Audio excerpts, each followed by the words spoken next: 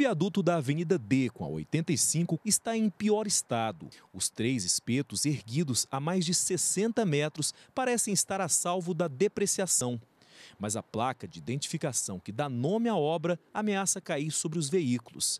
Nas paredes, buracos no lugar das placas. Até para quem anda pelo local, esse bueiro oferece riscos a prefeitura consumiu nesta obra 18 milhões de reais. O viaduto da T63 custou 7 milhões de reais.